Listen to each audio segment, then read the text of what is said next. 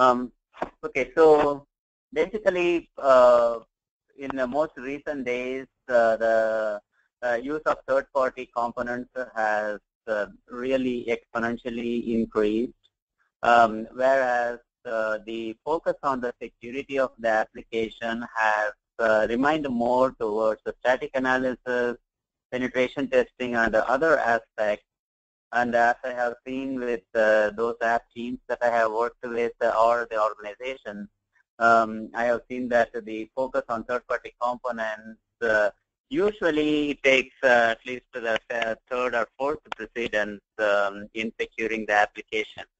Now, um, the focus of uh, this presentation here is I want to bring in additional awareness um, awareness towards the higher level of importance uh, in, uh, in uh, using secure third-party components and what we could do about it.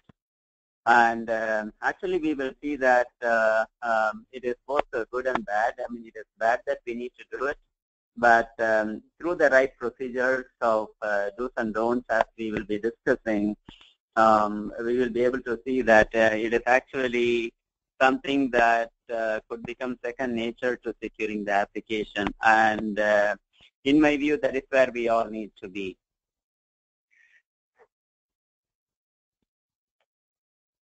Um, uh, actually, uh, uh, Jeff asked me to add this uh, background page, but uh, Stacey has already presented this. Um, so basically, I have been in the software industry for past 20 years and have been teaching at universities and also um, have focused on application security for a very good amount of time.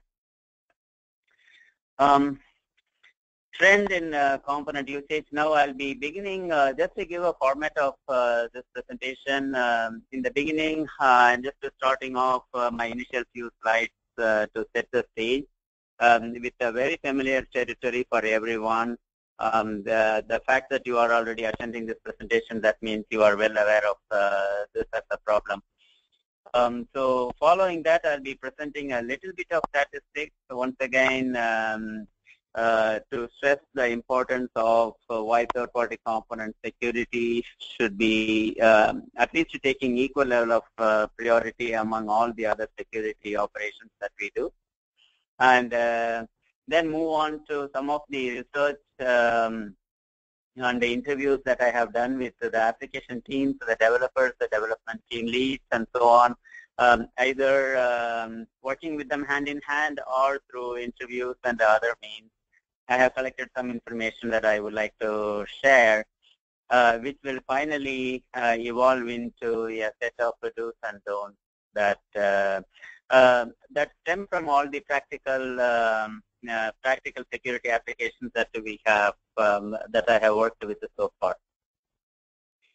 Um, to yeah, to get started, um, as we know in uh, very earlier days, most of the applications was um, uh, developed in-house.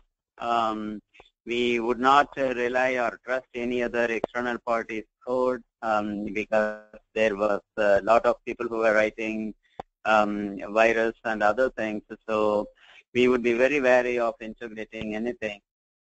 Um, and uh, only uh, an application team would uh, purchase some vendor code to integrate into their application to add some uh, easy standardized functionality in addition to the proprietary code that we have written. Um, at that time, the application development would take uh, as long as would take, as it would take, depending on was no easy way to cut short the time. As time went by, there is um, uh, suddenly there was this uh, new set of uh, application, uh, uh, I mean code that became available, which is free and open source software, um, and they were of enterprise quality and it was easy to um, easy to integrate all of those uh, components into your application. Uh, and surprisingly, um, being free, these applications, uh, these uh, components were also kept up to date. Security patches were released, new versions were released. So enterprise applications could uh, suddenly start to rely on some of these free and um, open source components for uh, a lot of reasons. Uh, number one, there was no cost associated. In addition to that, these, these components were um, um, adding standardized functionality in a very um, uh, very easily integrate, integrate um, in a very easy way to integrate into your application. More and more open source components became available, more application teams um, uh, were interested in doing this with uh, various functionalities becoming um, available over the period of time. With all of these, uh, downloads increased. Uh, initially, um, it was not very much, and then uh, it really exponentially exploded. according to one of the recent measures that I looked at um, from Sonatype Central Repository, um, I found that the volume of downloads in 2014 was 17 billion, and in 2015 it was 31 billion.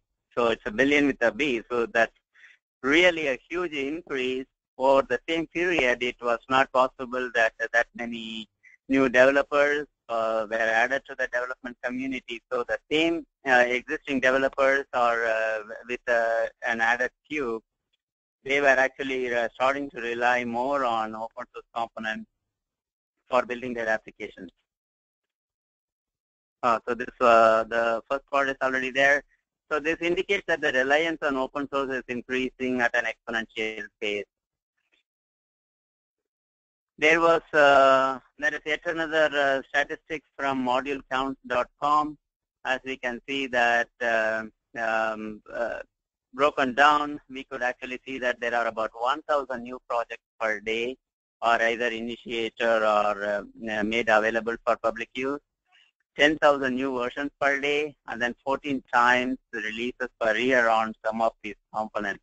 So what it all means is that the development community who is putting out these free, um, free and open source software components, they are very active, very um, uh, vigilant, and very, uh, very consistent about providing the upgrades so that um, uh, real enterprise grade software applications could actually rely on them. So all uh, all seems to be really great. Uh, it is possible to achieve faster time to market by using these components, and it is all standardized. So even if there were bugs, the creators of those components would be fixing them. Everything looks great. So where is the problem?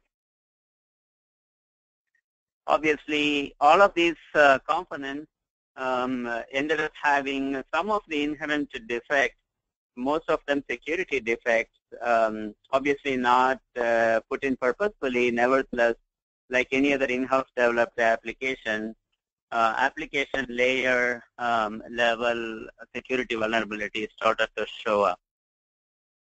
So security defects were discovered in this component the components with the defects were downloaded and used, which is uh, really a biggest uh, problem in this uh, whole environment where we do not want any defective component to be downloaded and used. We will be touching upon this topic over and over again throughout this presentation. And multiple versions of uh, each component was released, which is uh, obviously with a positive intent to improve functionality and security. However, the management of multiple versions, it became a huge issue for individual organizations in either uh, training their developers or enforcing policies and you know various uh, various ways we need to adapt to actually solve this um, uh, solve this actually that uh, evolved into a problem uh, even though originally the intent of releasing multiple versions is so that uh, continuous improved functionality will become available. Um, so with exploding volumes of components introduced and used, this is a clear and present issue. That's exactly why the number of downloads is staying at several billion because there are so many components, so many versions, and so many organizations and the developers who want to download and use them. So we need to bring in coherence in such a way that uh, all of these uh, uh, flow in a smooth way so that finally all the, all the applications are secure and all the developers know how to use the third-party components in a secure way. So that's basically the overall uh, goal we want to achieve at the end.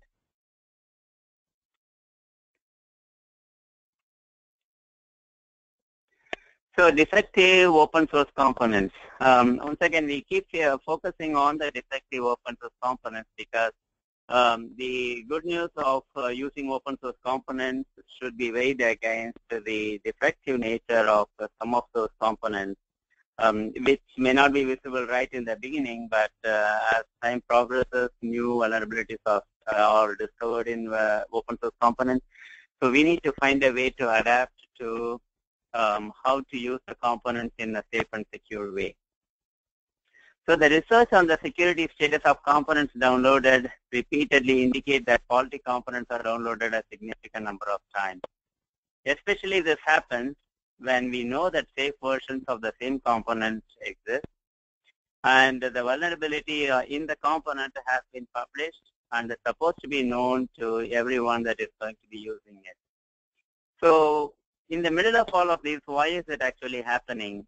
Um, if we were to draw an analogy in any other industry like a, an aircraft industry or a car industry or any other manufacturing industry, a known faulty component is never used in um, in manufacturing once again. So for example, if um, uh, if a car is manufactured and the seat belt is uh, uh, discovered to be having an issue, that particular seat belt will never, that, that particular design faulty component will never ever be used in any other new car that is being produced.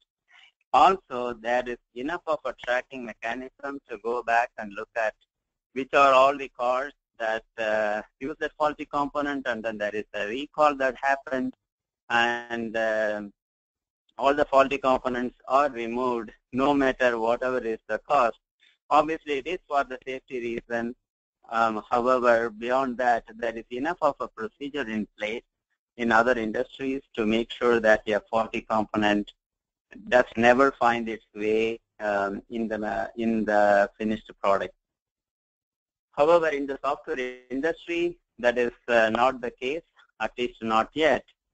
What is uh, the most important uh, issue that I would like to see prevented is a faulty component is downloaded and integrated into a, an application that will be going into production, even though, number one, it is already very well known that the, the component is faulty.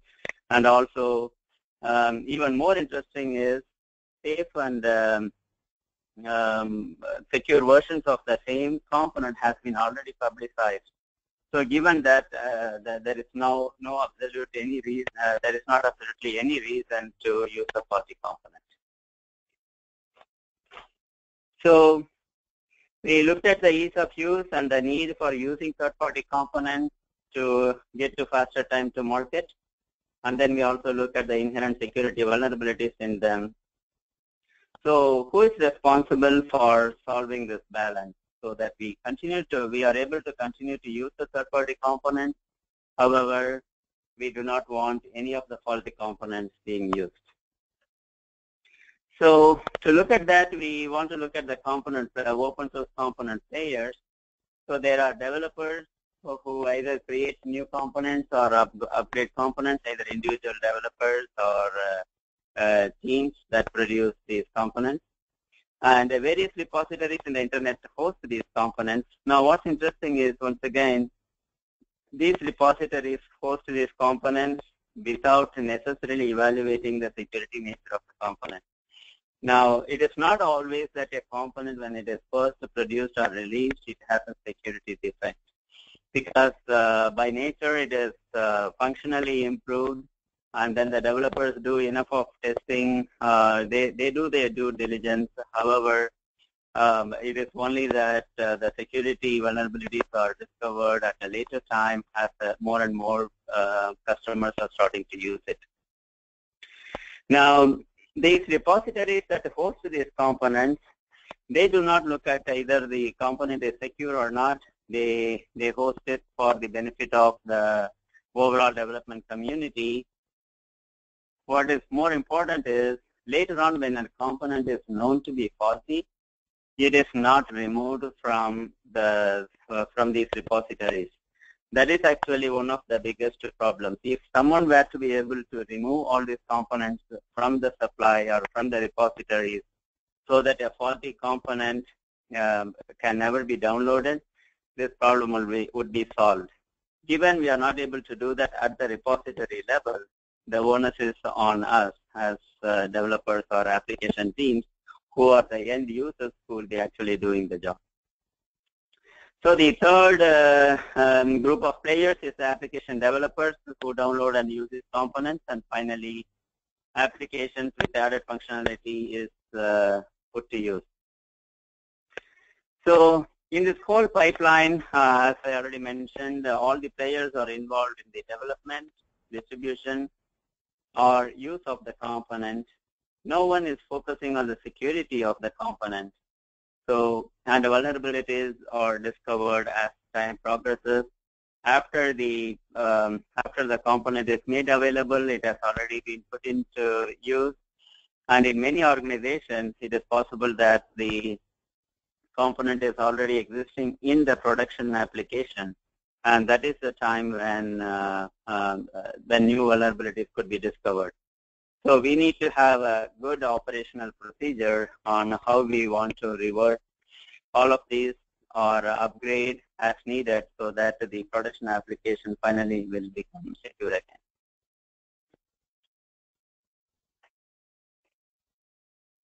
So once again, I want to kind of summarize the whole problem space. Uh, each one of these is um, um, independently important and collectively we will be looking at a few practices that we could follow so that um, uh, we are able to uh, provide a response to this problem space. So a component known to be safe today could be discovered to be vulnerable later. Obviously, this is uh, probably something each one of us is aware of. No need to elaborate uh, from my side. So, uh, however, from my experience, I have seen repeatedly that um, quite a few hundreds of applications, um, some organizations have had to go back and revert because a particular component known to be having a safe version, it went into production. Uh, architecturally, architecturally, it was recommended to uh, for use. Um, as of that day, it was known to be safe, and it went into production down the road in six months after many applications are already using the component, a new vulnerability was discovered. So this has uh, con consistently created a huge nightmare for remediation because we know the problem exists, the applications are already in production and functioning. Now there's a huge, uh, huge dilemma. We do not feel any more comfortable about these components residing in the uh, running application However, it is not going to be an easy fix. Like uh, yeah, overnight, it cannot be resolved. So there is a, um, a huge um, um, set of operations that we need to do to make sure that all the applications eventually will be um, will be using a newly upgraded uh, secure version. Uh, however, quite a few months could pass by. Uh, in the meantime, when we are uh, when we are in the process of doing this with uh, running production applications having a known vulnerability. Now, obviously, the hacker community would know this as well, and that makes it even more difficult because they know um, which uh, possibly which applications or especially where to you know, focus their attack attack on. So we need to make sure that the time difference between uh, discovery of a new vulnerability to the time a new upgraded version is available. Uh, the patch is put in place and the running application is uh, secure again. We need to make sure the time uh, difference between this is as small as possible. Then uh, components with the known vulnerabilities are downloaded not knowingly by developers. Now, once again, as I mentioned earlier, this is something I, I like to keep repeating because, uh, if anything, this is one of the most, um, uh, uh, one of the easiest to fix, and we have to make sure that it gets done. All a developer needs to do is make sure that before he is going to use a particular component, he has to go out there, either reach out to the security team or uh, in some organizations it may be the architecture team who is also responsible for security or there in uh, in many other organizations uh, there is a security champion that uh, uh, who is working more closely with the developers than at other times.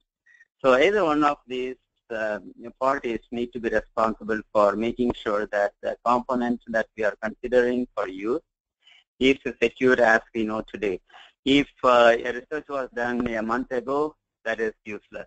Things keep changing so much so fast. The research into the security nature of a component has to be as current as possible. In fact, uh, as we will see later, um, do the research during development, do the research during testing, and do the research as close to production as possible to make sure that a faulty component does not in any way find its way into the production application. So defective components are not removed from the repositories. No individual owner is responsible for this. This is something that we already discussed a little bit so all the developers need to be aware of the fact that there are defective components out there. So we have to make sure that we delay the latest secure version. Now, once again, the latest version does not mean it is necessarily secure. So we have to make sure that the latest known secure version uh, is put into use in your application. A component known to be safe could find its way in your production application only for a new vulnerability to be discovered later. We need to manage to this scenario. This is obviously um, um, uh, yeah, really inconvenient scenario where you have done all your due diligence in finding the right component. You have made sure that the security status of it has been analyzed and um, the, the component was integrated into your application. And what happens after you uh, go into production and the right next day, a new vulnerability is discovered. Now, when that happens, obviously it is nobody's fault. We have done our diligence thus far. All we need to do is um, have a structure in place so that uh, the round trip time to make a new component, uh, bring, a, bring a new component into the um, application is reasonably as fast as possible. So we later in the presentation on a couple of approaches for doing this.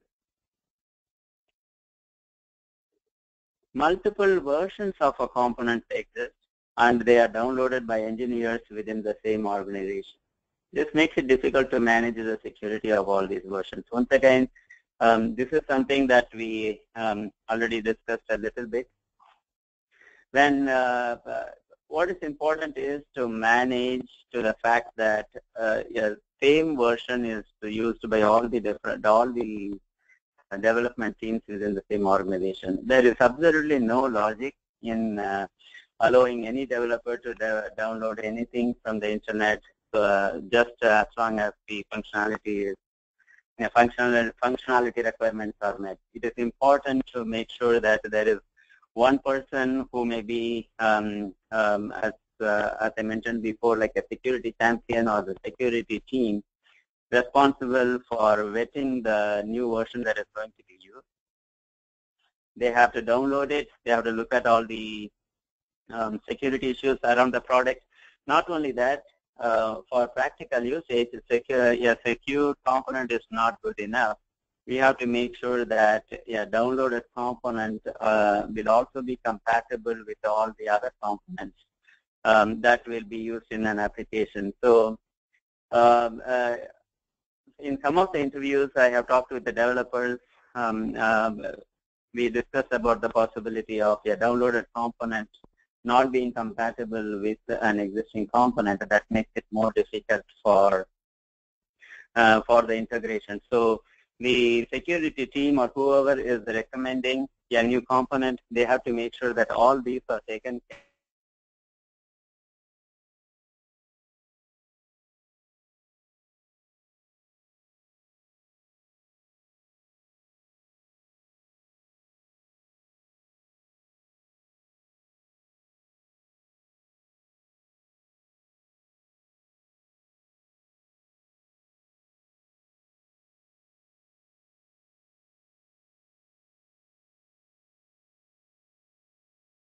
third-party component firewall. There are various solutions out there, uh, but all of these has to be put in place um, depending on the size of your organization, on how many applications um, you are trying to handle.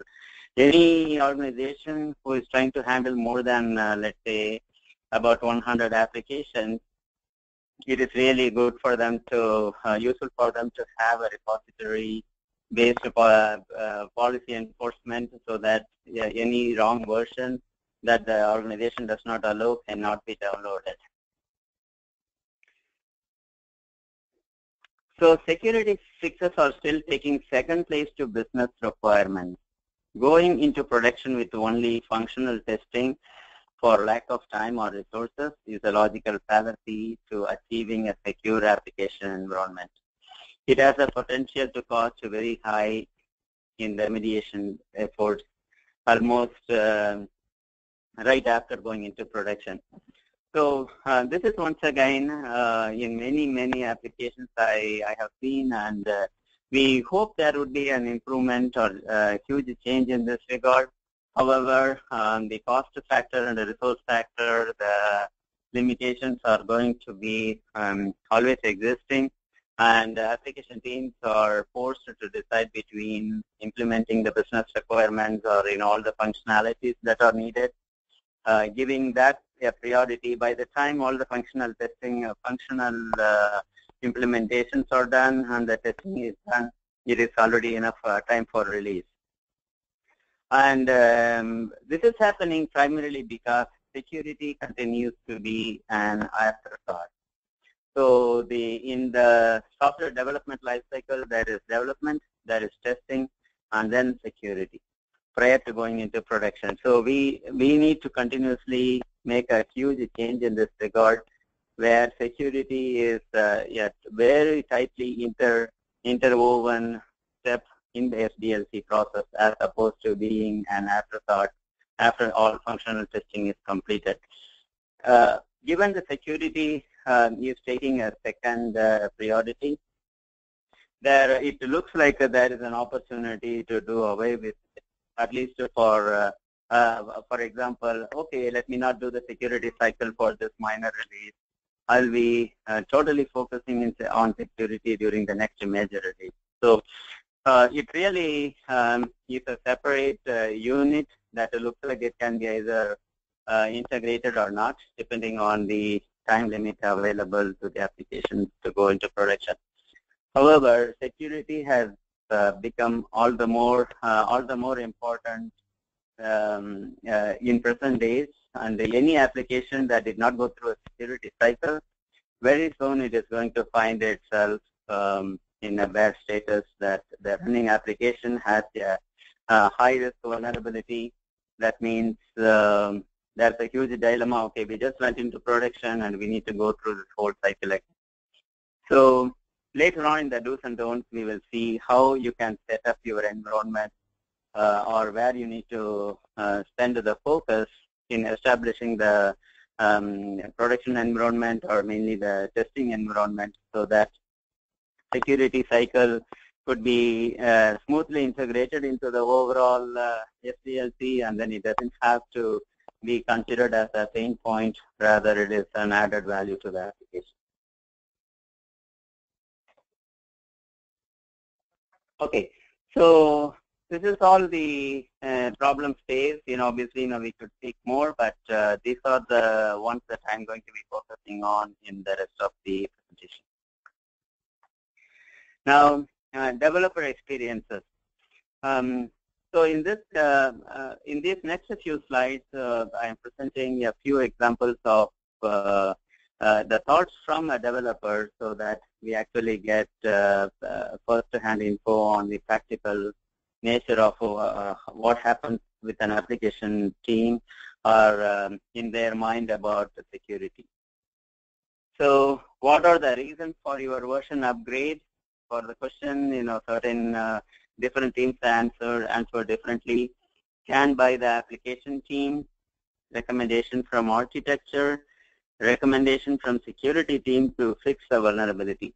Now, all of these are actually not either connected to uh, security or it is actually a reactive nature, the first three. Now, finally, the, our regular scan of the application for third-party component vulnerability or any other vulnerability, so to speak. So this is not heard too often, but we would like to see more of this appearing in um, appearing in the application. Because um, currently, the many application teams do not have the habit of performing the scan. They do rely on the security teams, and then security teams are not engaged on a, um, a regular basis. Let's say for every minor release, your security team's resources may not be available to perform the scan and support the application team.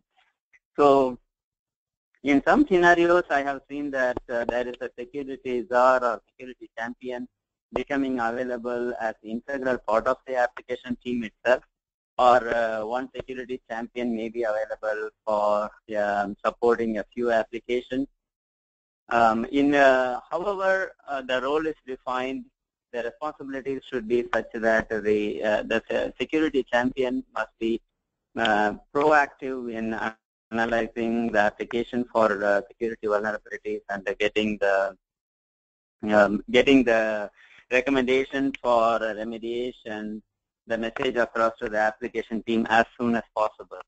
Yeah, so there is a world of difference between if an app team gets to know that there is a vulnerability at a later stage, then they may not have enough of a time to remediate or even consider remediation. Once again, if we ever consider uh, uh, integrating security into the SDLC as tightly as possible, for example, um, uh, in terms of continuous delivery and uh, um, basically we need to totally integrate SDLC at, uh, security into the SDLC at every stage. So it cannot be considered as any separate event. In that case, the application team will be able to do the right kind of sizing and uh, prepare the schedule 100% uh, integrating security into into the production of the application. In that case, uh, it will never take the second second priority, and the application will have a chance to implement the recommendation recommended by, provided by the um, security champion. So, what are the pain points in integrating? Actually, the the blue one is from one team, the red one is from another team, the green one is from uh, another team. Now the blue one actually I would like to return um, as the last. So let's look at the red one. When a component being upgraded is not compatible with the existing component, uh, components, it requires time-consuming development and testing for what started as a simple component upgrade. So this particular um, uh, person from the app team actually talked in really great length with me about um, uh, uh all the pain points that happened in integration. But uh, really at the high level, any new component may bring in some jar which already is existing, for example, as part of the container, and then the version in the container may not be the same as the version in uh, uh, that is being downloaded. So the or the new component may not be compatible with the uh, version of Java that is put in place in the application as of now. So instead of upgrading a simple component, okay, originally it started off as a security fix, and um, yeah, it turned out there is so much more because supposedly there is no code change that they need to do. All they need to do is uh, integrate a new component, recompile, and uh, uh, create the application. However, the incompatibility between the Java versions or incompatibility with any other component uh, is going to create uh, additional requirements for uh, maybe even code changes, additional testing, and so on. So yeah, component upgrade better be not ever done as an afterthought or as a reaction to a newly discovered vulnerability. It is better to keep up to date with the components because once a new version of a component is available, if it is integrated into the next round of production in an application, then they have uh, stayed up, um, um, stayed in pace with the changes in the component. Um, for example, I have seen some scenarios where uh, a particular component was not upgraded for um, maybe about a two-year time period. And the upgrade is not even an upgrade. It is almost like integrating a fresh component because in two years, the number of versions the component has undergone and then the um, either the component has been uh, architecture has been totally changed and so on. With all of these, the integration has never been smooth if it is not done uh, with the application in a regular basis. So the main point here is upgrade a third-party component, uh, not necessarily as frequently as possible, but consider an upgrade as soon as the new version is available, and uh, also look at your own um, uh, production schedule. And in around each production, consider whether the uh, version of a third-party component can be upgraded. If we keep missing the boat a few times, then the, the, the difference between what is in use and what needs to be upgraded becomes huge, and then that starts to produce all kinds of additional incompatibilities, which is going to you know, make it even more complex for upgrade. And uh, the responses from a different team, JARS or JARS compatibility issues due to upgrade, class not found exception or the likes as the upgrade would have resulted in new dependent jars. So once again, there are compile time issues which are uh, known as early as possible, and then there are runtime issues. So the class not found exceptions and some of the other incompatibilities when the new version was compiled into the application, all went well, and then it is a runtime dependency. It makes it uh, not that it makes it additionally difficult. It just uh, is known a little bit later than it would be otherwise. Code compile time issues which needed to be fixed. Configuration issues in case of struts to struts to or hibernate upgrade.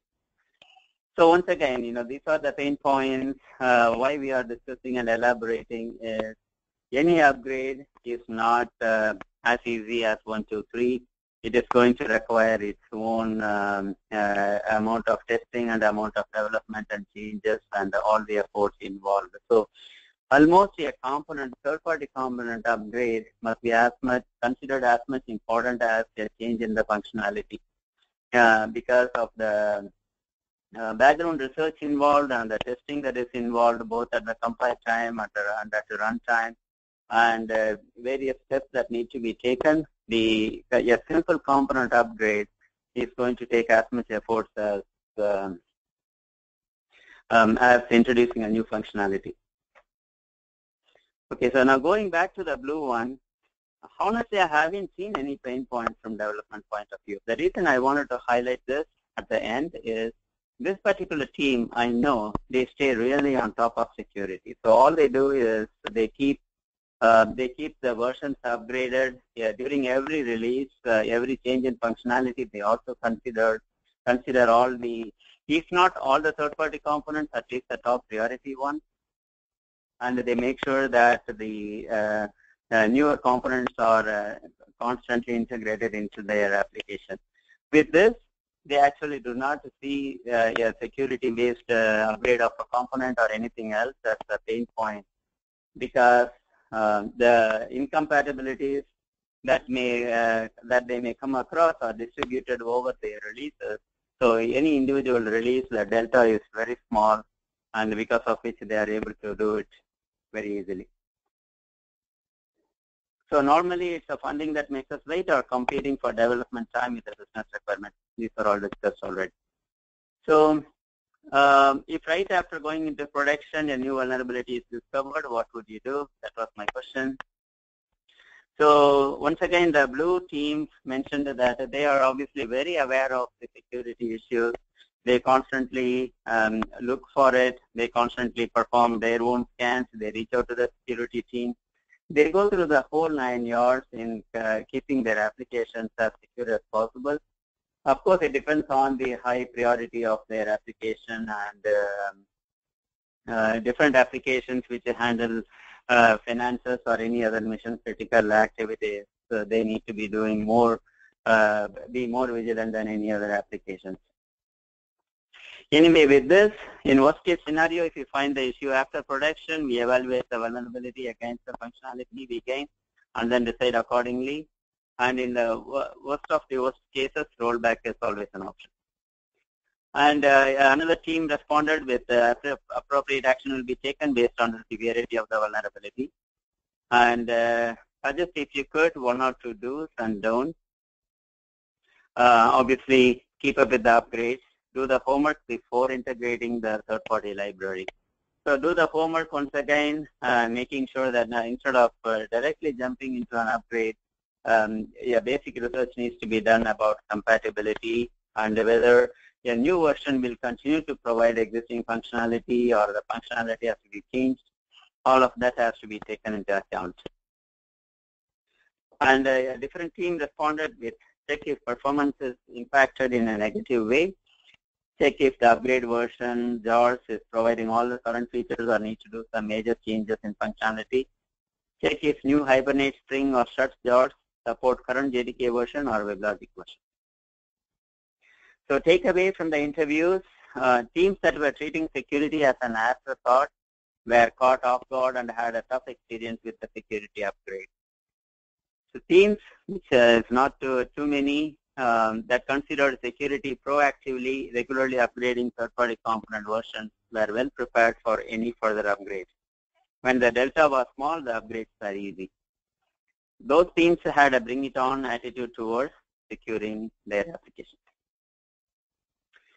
Okay, so possible solutions, obviously tools automation, tools automation. I just purposefully wrote it twice to really stress on it there are so many different tools out there. Uh, definitely consider one that would be appropriate for your scenario or even in um, some simple cases, it is possible to prepare something in-house for very quick automation. However, automation is very important.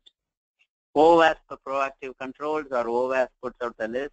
The developers need to be very aware about uh, the possibility of security vulnerabilities. Yeah, prior knowledge in a developer's mind uh, will make sure that a security vulnerability doesn't even find its way into the application in the first place. I have seen this a lot with uh, cross-site scripting and you know many other uh, static code analysis related vulnerabilities. Uh, training is uh, training is the key. Now, uh, along with the training, we need to educate all the developers about the third-party library component-related vulnerability as well. Palamida has an open source compliance checklist. Uh, we will look at that uh, uh, in a later slide. that is um, once again provides a set of set of operations that you could do to make sure that um, your application is more secure um, when you are using the open source components. Set up an architecture to proactively implement security, anticipate, anticipate, very important, new vulnerabilities, be prepared. So anticipate uh, obviously same as uh, being proactive. I am I continuously like to stress on the fact that if a vulnerability is not there today, it is going to happen tomorrow. So uh, being proactive um, and are not reactive is, is very important. Maintain a bill of materials. Once again, this is stressed in the Palamida uh, checklist. It's called hit here and then move on to the next. So OWASP proactive controls that was uh, released in 2016.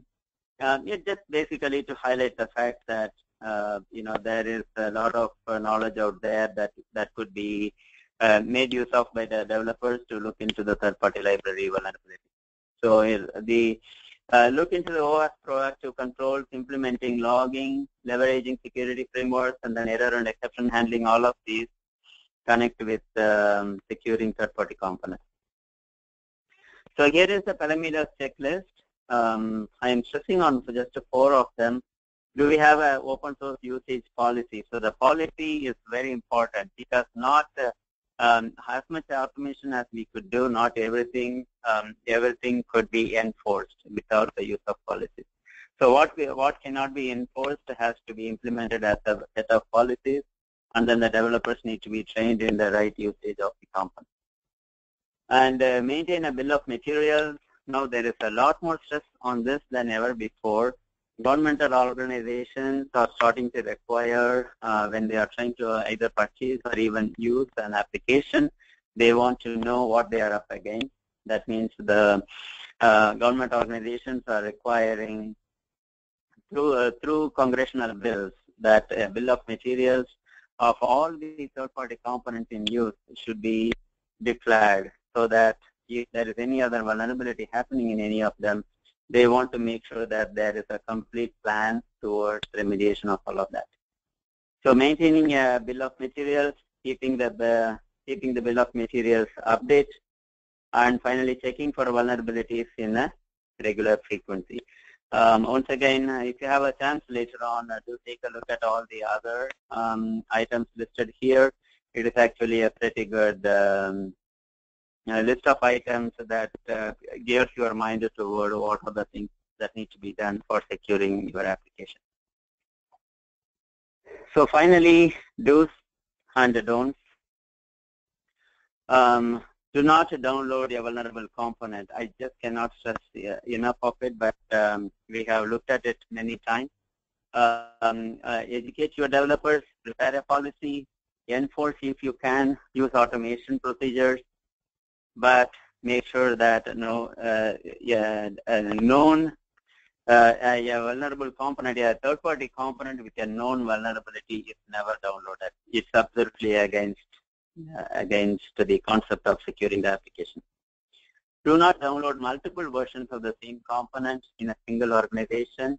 This both goes towards the operational efficiency as well as security. So if you have 10 different versions, and then there are a couple of uh, security champions focusing their energy on uh, researching into one of these versions. Obviously, the use of all the other nine versions uh, should not be allowed so that uh, it becomes easy and single point of research can be applied to all the different app teams. And um, about this do's and don'ts, um, I actually wanted to categorize them in uh, uh, several different ways I considered. And finally, I actually thought the simplest of all, which is just throw them in as it occurred in my mind. So no priority order on purpose. That means every one of these is as equally important. The do's are as good as, as important as the don'ts. And the priority, uh, the order in which they appear does not matter because all of them are very much equally important. All of these stem from uh, uh, providing uh, application security consulting to various, uh, uh, so many different applications and analyzing hundreds of lines of, actually millions of lines of code through various different, also um, sharing experience with um, any other, many other security engineers as well. So do check the age of the components. Studies show that the longer the age of a component, the more vulnerable it, uh, uh, there is some typo there, the more vulnerabilities in it. However, good news is that component version upgrades and security patches are constantly released and uh, basically like upgraded to a right version. So um, believe it or not, I have seen some versions um, of certain components uh, that are as old as five years, uh, five years or even more.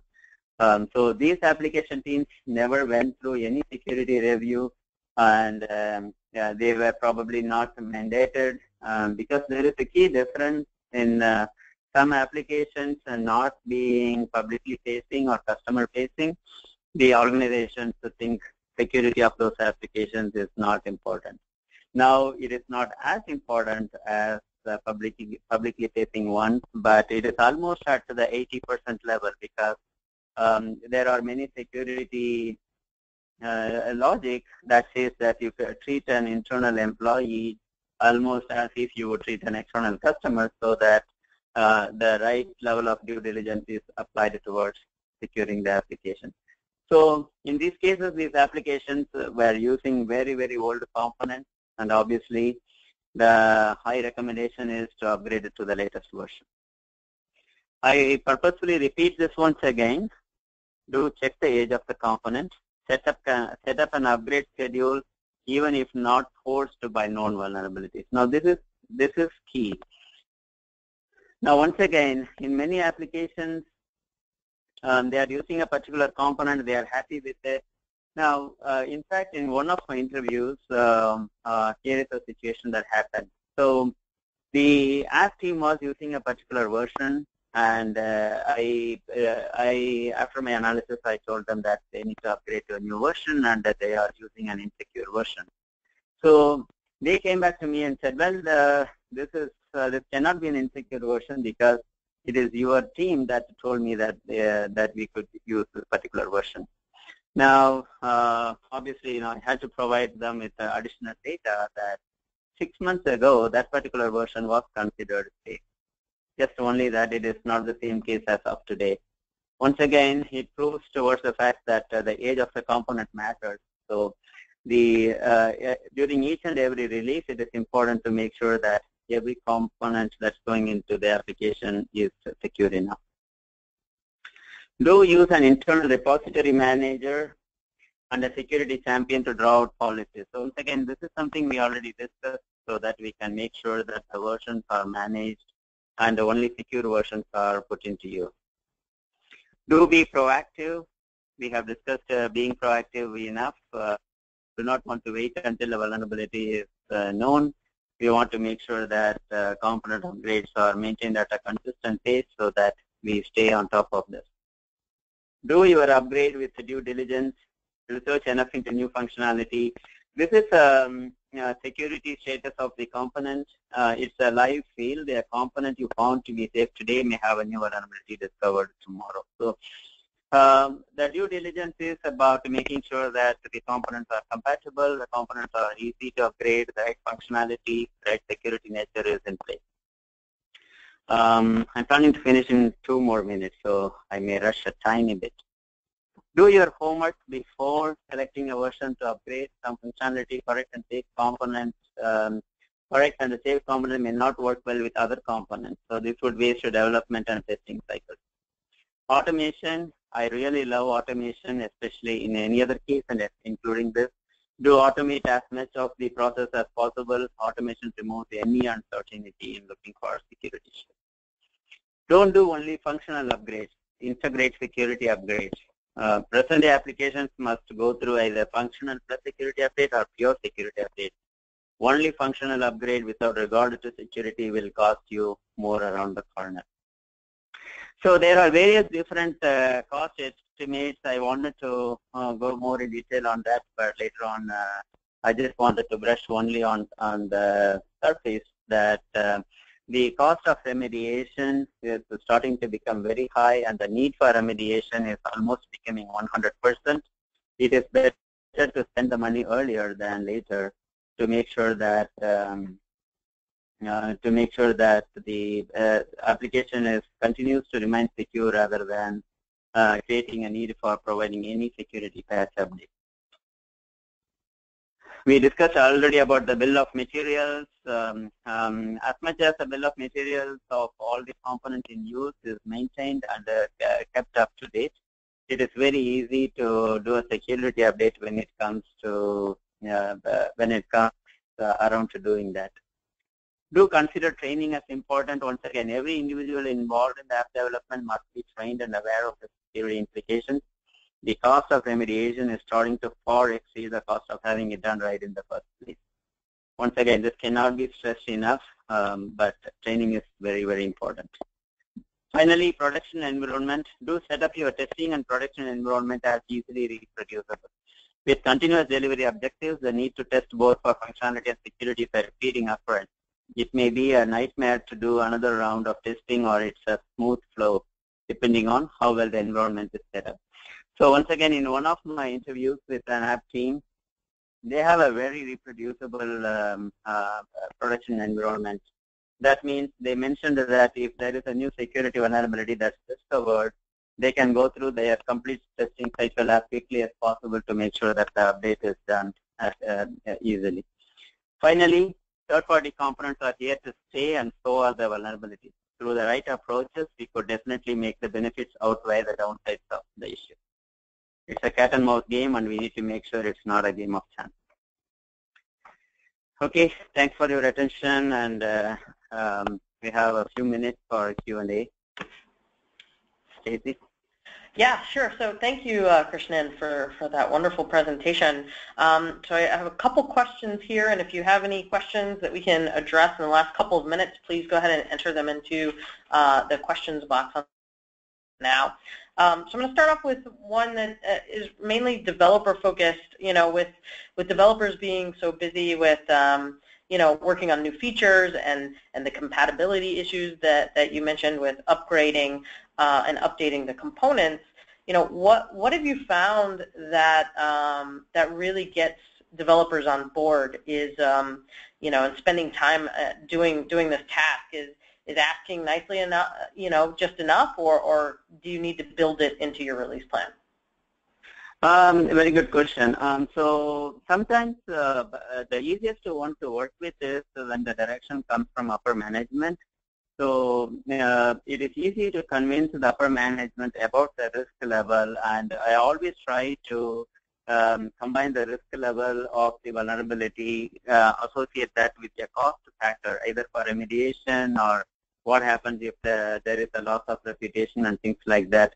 This message is very well received by the upper management, and when that comes as a direction to the dev team, um, they easily respond to it. And uh, over the years, compared to five years from uh, before to today, I see that the development teams are even more receiving about the security upgrade. They just want enough of an information, enough um, ahead of time so that they can actually get it done. Okay, great, thanks. Um, and so the other question I have here is, uh, do you see companies having different plans uh, for for component upgrades and updates for you know minor releases versus major releases, and you know what defines uh, a minor versus a major release? Um, the, nowadays, the testing cycle is uh, so much longer in every case. Even a minor code change results in uh, like, uh, you know, if, if uh, there is one or two month long testing for a minor release, it almost is the same for a major release. So given that uh, some of the minor release, uh, as long as the companies schedule their upgrades along with their major release, usually they are reasonably keeping up pace. So sometimes with minor releases, uh, not considering uh, a security patch um, could be accepted, but still it is always evaluated based on what kind of high vulnerability, if any high risk rated vulnerability is in production. We have to make sure that that is taken out of there.